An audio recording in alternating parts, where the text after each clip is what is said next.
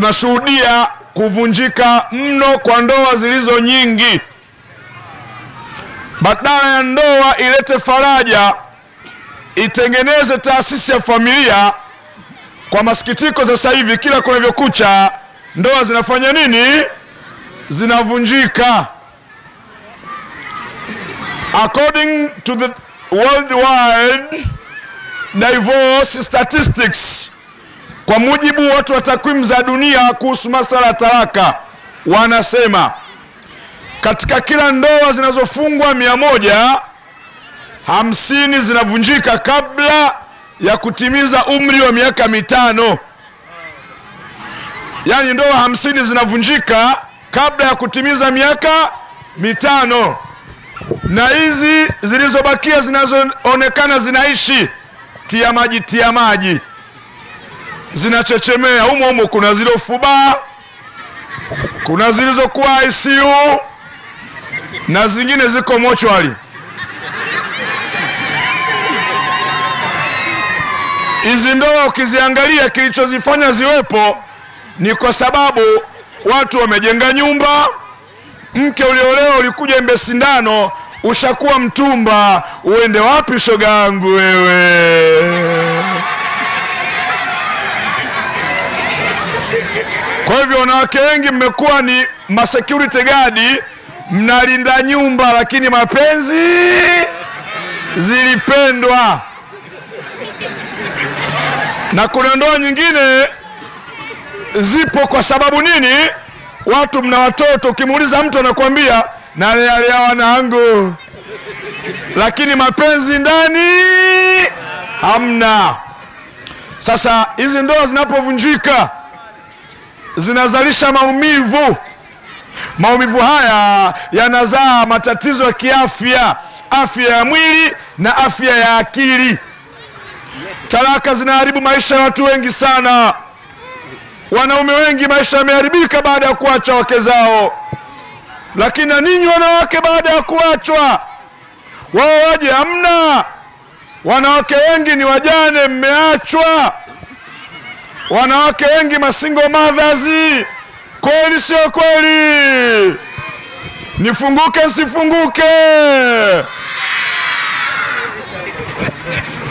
Ndugu zanguni, hali ni mbaya sasa. Na dondosheni kwenye kiti hapo, leteni mzigo eh? hali si hali, ndoa eh, ndoa ndoa. Mwanamke unaolewa, unaaga familia yako, walikuja wanaume wengi kukuchumbia, ukuelewa huyu uliye aliyekuja ukamwona anavaavaa kanzu na ndevu, ukasema jamani, huyu ana dini, kumbe ulianza kuota kabla ya kulala. Pole shogangu, lisemwalo kama halipo, kama si kwa mwingine, ili lako shogangu. Naam, wanaume, uliona wanawake wengi sampo kwa sampo, hujawaelewa. Huyu uliyemuoa ukasema nime, nime, nimeibua chuma, kumbe umeibua mkuki unakuchoma.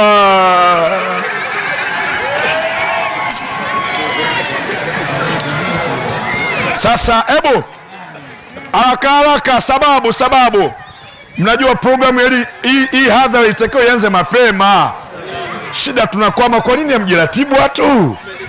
Jiratibuni, mambo yaanze mapema, tujadili changamoto zinazotesa watu kwenye ndoa ili waweze kupata majibu.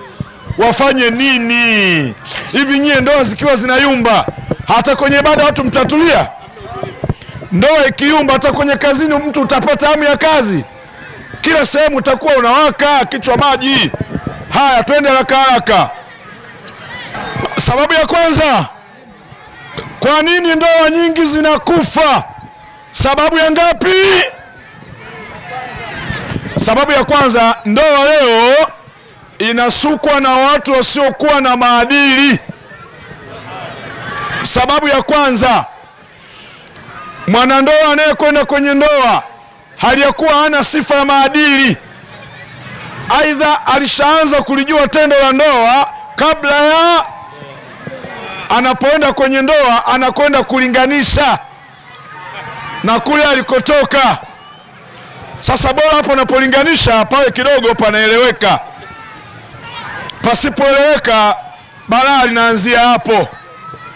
Ndio unakuta unaishi na mtu ana hisia, unakaa na mtu ambaye ana hisia, si mme si mke.